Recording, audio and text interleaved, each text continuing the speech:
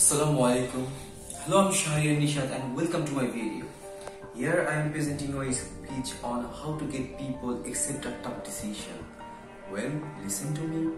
It's very easy for you to take a decision between right and wrong. But it will be difficult for you to take a decision between right and right. In the same way, it will be difficult for you to take a decision between wrong and wrong. But it's even difficult for you to take a decision between more right or more wrong. So how to take a decision?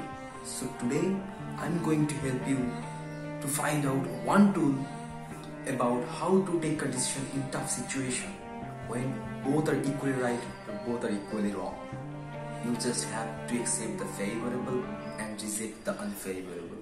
But what is the favorable and what is unfavorable? Many of us think that what gives us happiness is favorable what doesn't give us happiness is unfavorable. But that's not the right answer. Your decision should not be built on what makes you happy and what doesn't make you happy. Your decision should be based on your goal statement.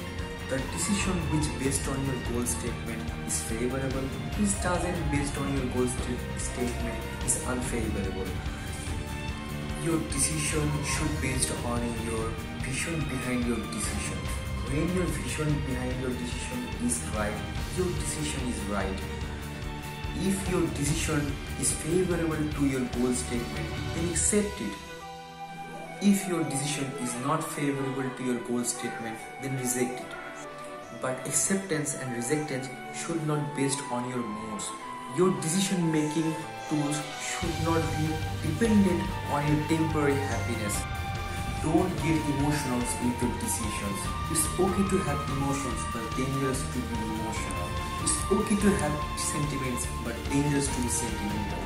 Don't get emotional or sentimental when you are taking a decision. You will face a lot of attraction and distraction.